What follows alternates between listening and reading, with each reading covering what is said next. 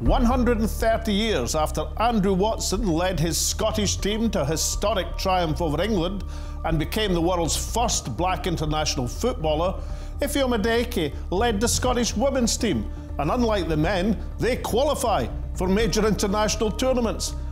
Ifeoma joins me, along with England great John Barnes, Catherine Ross, and Professor Sir Geoff Palmer. It's Black History Month with a difference on The Alex Salmond Show, on air and online.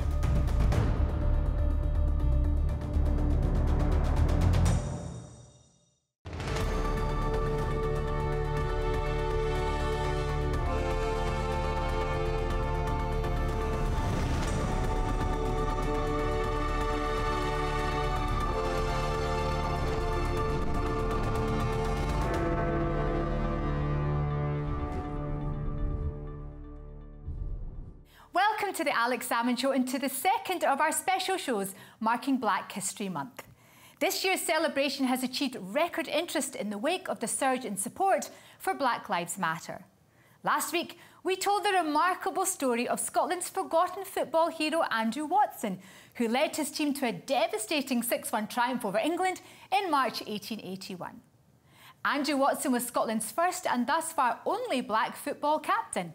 It was 130 years before a Scotswoman followed in his footsteps and captained her country. Ifeoma Dieke, one of Scotland's most capped players of all time, joins us from Florida to tell us of the experience of a black woman leading Scotland. And we're joined again by England great John Barnes, who places football in the context of the struggle for equality and justice. In the second half of today's show, we ask Black History 2020 editor Catherine Ross about the unprecedented publicity received by this year's programme of events, while Professor Sir Geoff Palmer argues that revisiting the often unsavoury side of history is still a positive experience. But first, your tweets, emails, and messages on last week's show. First, we hear from Andrew, who says, Brilliant episode of the show. Football and black history. Might not be your thing, but it was great to hear from Ged O'Brien talking up Scottish history so well.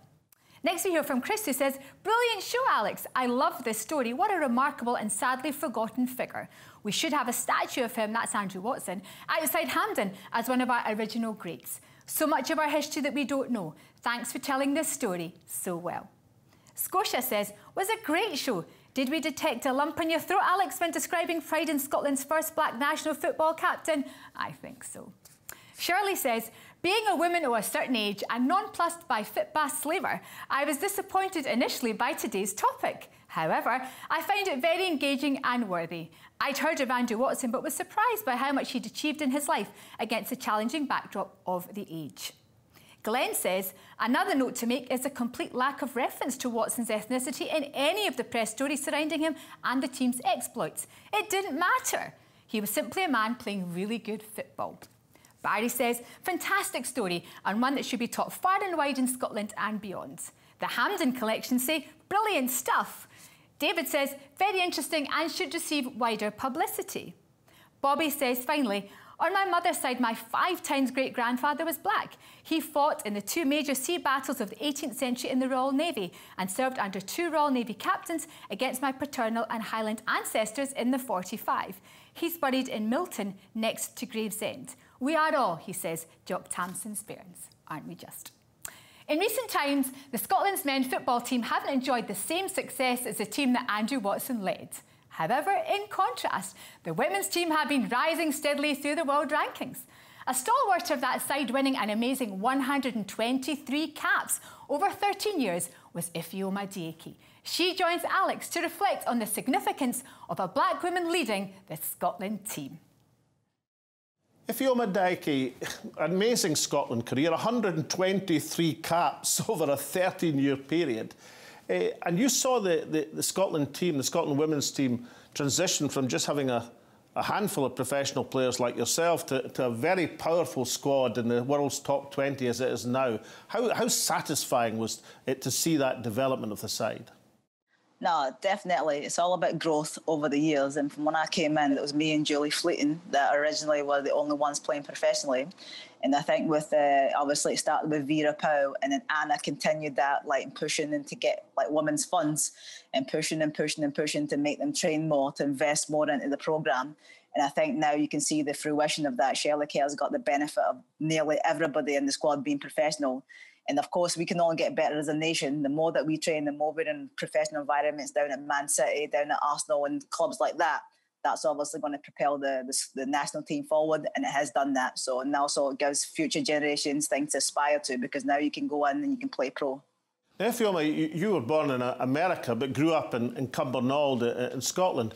But therefore, you could have played for the United States uh, or Scotland. So, what made you choose Scotland? But particularly because the United States have a pretty good side.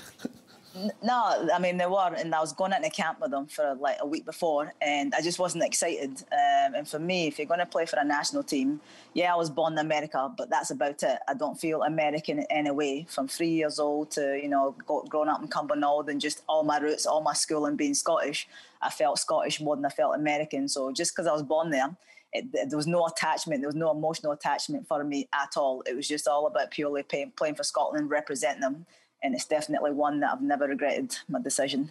Now, you captained Scotland just over 130 years after Andrew Watson became the first black international footballer uh, and led his Scotland side way back in 1881 to uh, uh, a memorable 6 1 uh, triumph over England at the, the, at the Oval.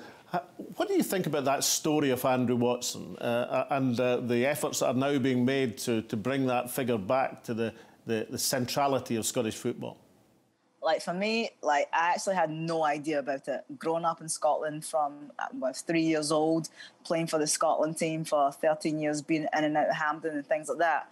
And I can't even say that I even knew the story. And, you know, because again, it's like one that came before you and knowing their story. I think it's important to carry that over. And that went over my head. And that was only brought to my attention, I think, as of last week. So as of last week, you know, I've, you know, I've delved into the story. I've got to know that a little bit more. And I think that's incredible. The fact that it happened 130 years ago, but we're only finally talking about it now. It's obviously been in the in the dark for way too long. So I'm glad now that, you know, like more attention is being paid to it because it was a huge achievement and we want to obviously continue that going, continue the talk and actually, you know, recognizing that historic achievement and what he did and, you know, obviously the result and everything. So that's uh, that's an incredible story that needs to be, you know, more recognition definitely needs to be given to that.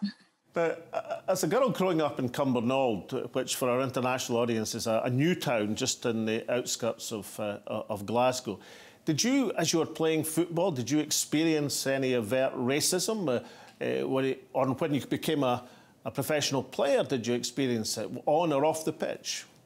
So growing up in Cumbernauld, uh, not too much, a little bit, um, but I think because uh, my, in terms of my family, my, my brothers, you know, because they were like older and people knew them, so then they knew like I was a girl that played football and I was like Uche's little sister. So that actually helped me because everybody kind of, because Cumbernauld, like you said, is a small town, so everybody knows. And back then, not a lot of girls actually played football. So that helped me. But then when I go maybe somewhere else, you know, people will just stare at you, you know, call you the usual names and things like that but and just like didn't let it really let it get to me. Obviously, traveling with Scotland, you know, I remember going to countries like Germany, Russia, Bulgaria, and things like that. And again, just comments like that, but nothing like overly like overbearing or like horrendous like you'd see in the men's game. Just because I think the audience in the female game was a lot smaller, so you didn't have the big, you know, the microscopes like you know, like the, the my male counterparts like uh, encountered just because the crowds were smaller. But you get like little bits and little bits here and there, uh, mainly abroad than in like say Cumbernauld because it's a small town and everybody kind of knew everybody. Ifeoma, you're a, a, role model for, for young Scottish kids, for women playing football and for black women playing football. Uh, are people conscious of how important it is to, to see players like yourself so successful? I think so. I believe so. Because uh, if I look back in terms of, you know, when people ask me my role models, it's like you always look to the, the men's game because that's what who you see on TV and you just compare yourself to them. But I think it's important for females to have like role models that, you know, like are female that look like them so they can relate to, can see their struggles and see how they came through it and learn from like their story and like how they started, how they grew up and how they came through adversity. So it's definitely important. I take that seriously as well. So when I, you know, in terms of like giving back and t- going to schools and speaking to schools and speaking to girls and coaching, you know, my girls over here, I'm so conscious that you know I know what they've gone through, what they're you know what lies ahead. So it's about trying to help them and navigating through like the difficulties and the journey and what they've got to, uh, what's ahead. So definitely something that you know I take seriously, my responsibility seriously, and um, just um, glad that if my story can help anybody and touch anybody, then I'm happy with that. And do you have a, a message uh, for Scotland and for wider field in, in Black History Month? Again, it's just like you know, speaking up. You know, and maybe when things would happen to me when I was younger, I would internalize it. I wouldn't say anything. But I think it's so important, you know, this this day and age especially, that you know, if you've got anything to say, you know, you stand up, you speak up, you use your voice, and it's about helping people to, ed- to educate people and for them to learn. Because in the, the day, we're all human beings, and no matter skin color, you know, we all want to want the same things in life, and it's about learning to, you know, about each other. Ifeoma Dieke, the first black woman captain of Scotland, thank you so much for joining me on the Alex Salmond Show. Cool. Thank you very much, and uh, thanks for having me. And so, from the captain of the Scotland women's football team to an England great, when I interviewed John Barnes, he had some really interesting things to say about the wider issues of racism in society. It must be difficult uh, to be a racist when your, your own team's star players are, are black, is it not? you have to look at the reality of racism in football, whereby I was racially abused by Liverpool fans when I played for Watford, and I'm the exact same person I came to Liverpool, and they didn't racially abuse me. So, uh, you know, football, uh, particularly you know up in Scotland, where you know how passionate they are, regardless whether you're racist or not. If a, a player, as Mark Walters experienced up in Glasgow when he plays for Rangers, if you score goals for them, they'll love you. So, but what I do know is that had I not been a good player, and black players who go to big clubs and do well of course, even if there are unconsciously or consciously racist people, they don't racially abuse them. But are they bad players and they play for the same club? So John Barnes going to Liverpool, terrible player. I would have got racist abuse. I know that 100% because it's not personal. It's about the perception they have of, of uh, the, the group that you belong to and their worth in a very same way as the perception we have of women's worth and, and gay people's worth. So I wasn't under, under any illusion that they loved me because, you know, I'm John Barnes and they love black people because they love me had John Barnes because I've seen Alex Nyarko, the black Everton player who got racially abused by Everton fans, and had he played well for Everton like Kevin Campbell did, they wouldn't have racially abused him. So I look at racism in football and racism in society in two different ways. The reality of racism in society, which is much more hard hitting, much more all encompassing, and much more serious than it is in football. But it all boils down to the fact that the perception we have of your worth.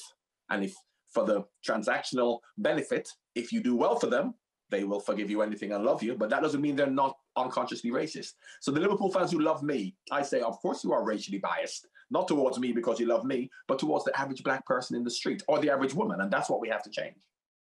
And how much progress uh, has been made in recent years? Let's look at football first. Uh, and how much is there still to do to, to stamp out racist attitudes? Well, the progress that's made in football, um, two, two aspects of football. First of all, the game, um, the sport, the 90 minute match, and then the institution, which is from the hierarchy point of view, from the management point of view, the administrators. Now, from the playing perspective, it's made huge strides. In fact, there are black players who are disproportionately represented in football because you have more than 20% black players and a less than 10% black people in the country. And in terms of players now being paid the same amount of money, when a player, black player takes a shot, the goalposts aren't moved. They don't make the goal smaller. In life, a black player trying black person trying to get a job or, or, or trying to get employment or good housing or access to social care, the goalposts are moved for them the goalposts aren't moved for footballers. Yes, when you every now and again in a, in a, on a Saturday or if you go to Bulgaria, you will get racist abuse. But in terms of the representation of black people in football, it's disproportionate. They're completely equal.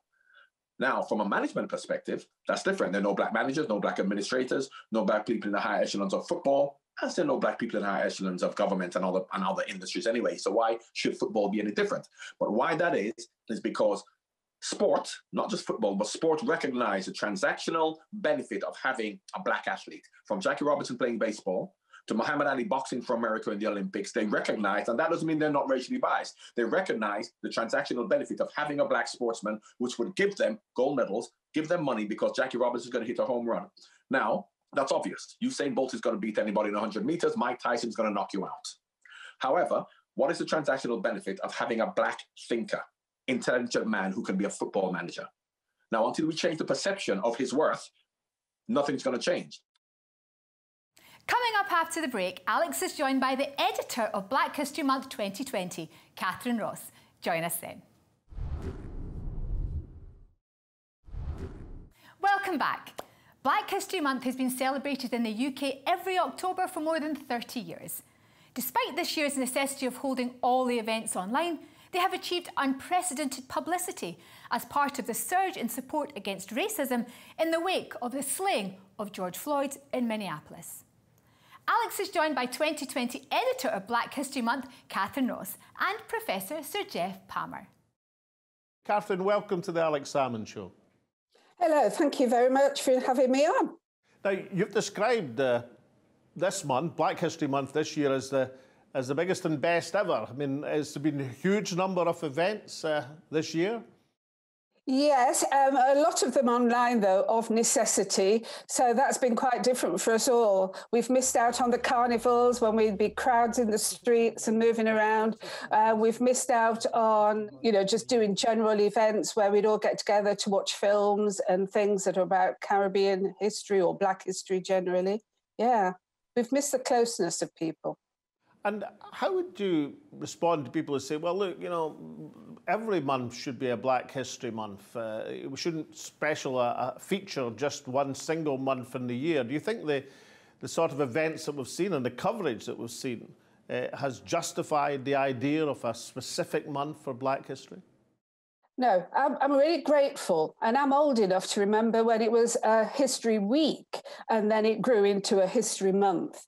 Now we're finding that a month is not long enough simply because there's so many events on.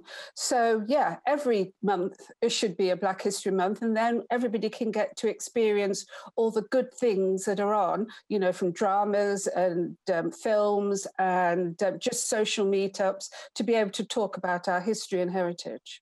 Now, as you've said, uh, obviously events have uh, forced you online in the main for, for the History Month this year. Do you have a, a highlight uh, thus far? I mean, uh, something unexpected that turned into a grandstand success? Uh, have you got something you can point to, to which, uh, which surprised even yourself in terms of how effective it was?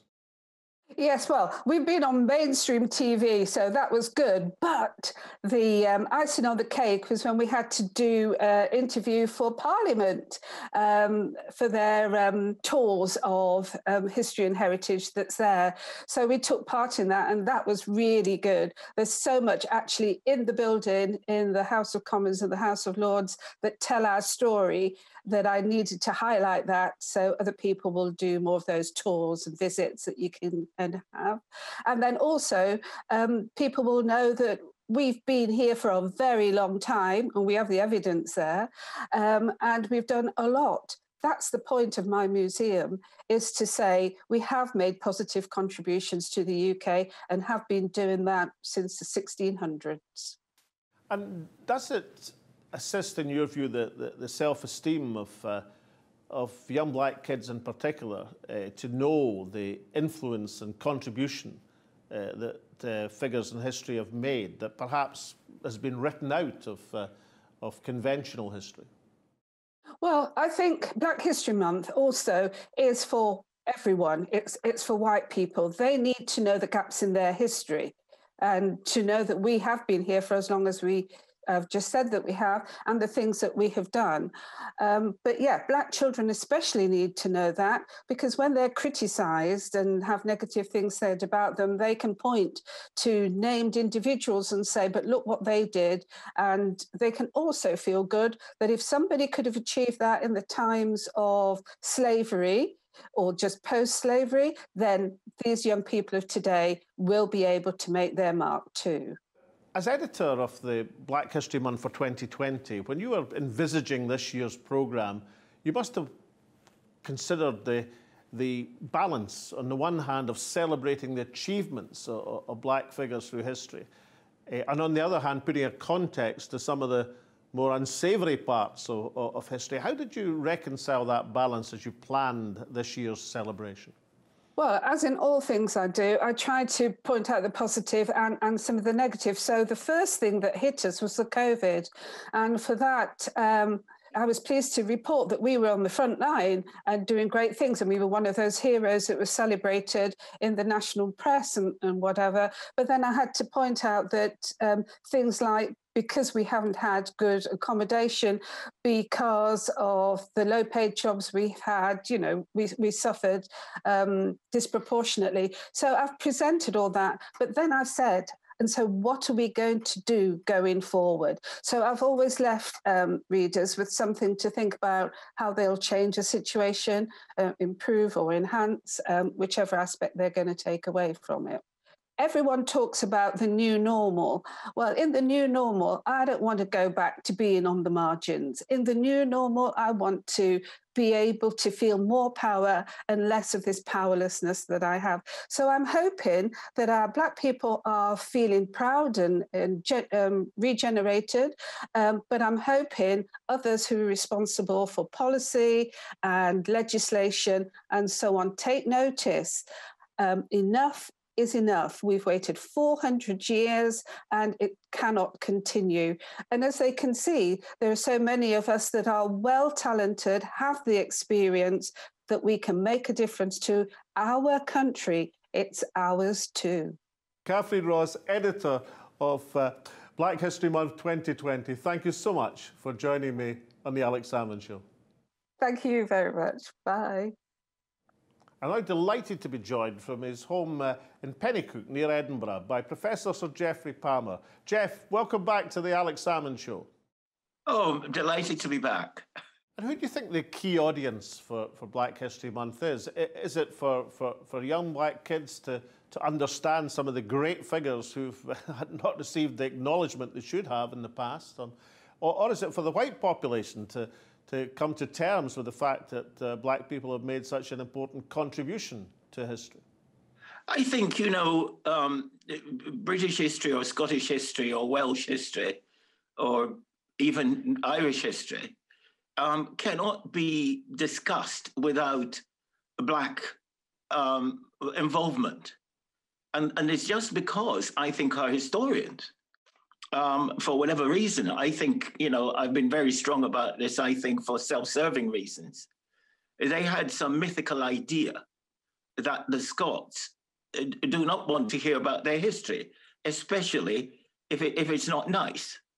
And thus, they've spent a long time, these historians, manipulating Scottish history to sort of moderate the black bit. And I think this is wrong. And I've spoken, as you know, all over the country. And when I finished my lecture, the Scottish people have always said to me, Why hasn't anybody told us this before? And somehow it's as if the Scottish people can't take their own history. And I think that's almost insulting. But isn't it the case, would it be, from what you've done on the Dundas Monument, uh, and uh, you know, people would say, I suppose, in defence of David Hume, not just a, an outstanding philosopher, but a, a, rationalist, whereas Henry Dundas was, was also a fearsome opponent of Scottish radicalism, uh, as well as being involved in slavery. That wouldn't it have been more appropriate to allow the negative views expressed by Hume to be ventilated, to be put into context, to, to be part of the examination, without sort of saying, well, we'll get rid of his name altogether, which seems a, uh, seems a, a different tactic to the, the one used with the Dundas Monument? It's a salutary lesson, you know, that in our time, that if people like, you know, academics or politicians or whatever, if they go out their way to sort of mislead the public and turn people against other people, then Dundas to me is like Hume. Uh, his views on reason and, and whatever is fine, you know. But I remember one of my colleagues once at the Heriot-Watt University trying to get my support on some issue in the university. And he said, Come on, Geoff, you know, we've got to get the spirit of enlightenment. And I said, Well, during the Enlightenment, I was cutting sugarcane. so I am not impressed by the Enlightenment because during that period we had the most, what I would call, you know, the most profitable evil the world has seen. Don't underestimate the, the systemic nature of racism. And I just feel programs like this help because the university, they haven't done their jobs. The schools have not done their jobs. And it's probably not the school's fault. I think we need government to say to schools, get this in your curriculum. It's got to be part of the examinable curriculum, not nice to do. And I think if we can do that, we can change this awful attitude to other people where we treat another human being as, you know, a different species. That's what Hume said. Black people are different species. That means we're like cats and dogs. And that is so untrue because all human beings are perfectly fertile. And that's the definition of a species. And therefore, that concept of race, that, you know, one race is superior to the other, you know, we're one humanity, nothing less. And finally, Geoff, uh, this programme last week featured the story of Andrew Watson, the, the first black international football player who, who led his uh, team to, to the Oval in London and hammered the old enemy six goals to one. How, how do you think, if that story had been better known and better told, uh, would it have been a role model for, for young black kids in Scotland to know that uh, the most successful Scotland captain in history was black? Well, you know, I think a lot of white Scottish people would actually admire that. You know, I think black kids would, but I really believe that in my time in, in Scotland, you know, a lot of Scottish people have admired my achievements in a sense that, you know, I made a video for the Scottish government some time ago, which, you know, is called We Are Scotland. And I think a lot of black kids would, would, would admire Watson, rightly so. But I can assure you where we've got to get to is where white people admire Watson because he was Scottish. The point is that when I got my knighted some time ago, there was all these, you know, ladies in Tesco's wanting to give me hugs as part of my achievement. And, and they admired what I had achieved. And I don't think my color uh, uh, had anything to do with it. And, and that's what we want. And I think Watson should be taught and should be admired by all Scots because he was playing for Scotland. Professor Geoffrey Palmer, thank you very much indeed for joining me once again on the Alex Salmond Show. Thank you very much, Alex. See you again. we featured a programme on the extraordinary story of Andrew Watson as a contribution to restoring this key figure to footballing history. The fact that it was necessary is a case in point that all too often the contribution of black men and women has been downplayed or even erased from the record books. The importance is obvious. Role models of successful figures can have a great impact on how young people look at their own potential and opportunities. However, John Barnes is surely correct to argue that the task is not to think of black women and men just as role models in sport and music, but also in science, business, and even politics. And in terms of securing equality, the key audience for this appreciation is not black, but white.